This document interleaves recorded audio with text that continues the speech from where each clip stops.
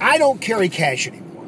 I won't say never, but rarely carry cash because I love using debit cards. Most places take them now, and when you use that, you've got a record that you can look up. It's kind of like a, a, budget page where you can look up everything you spent that day, even the little stuff. So I love using it.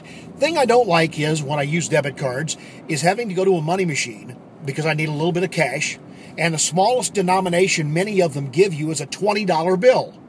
And I despise that found one in town, first one I've ever seen in the country, that will give you $1 denominations. You can get $7, you can get $14, 10 and 4 ones.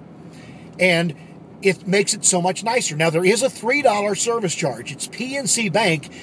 I don't use PNC Bank, but our bank reimburses you for every charge at every money machine you use anytime. So it's a win-win for me. I love it.